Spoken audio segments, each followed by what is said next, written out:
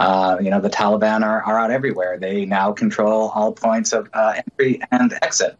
Uh, any deal will have to be worked out with them. They're not going to be able to smuggle people like him out. So, uh, you know, you have to find countries to, to take people. Uh, there's talk about trying to uh, get people out to the countries to, um, you know, every corner Uzbekistan, Tajikistan, Pakistan. but, um, you know, there are still Americans here.